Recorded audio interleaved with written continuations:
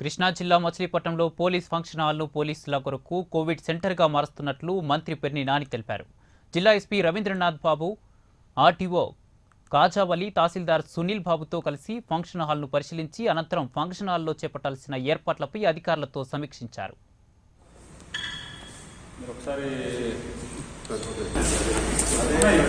ఒకసారి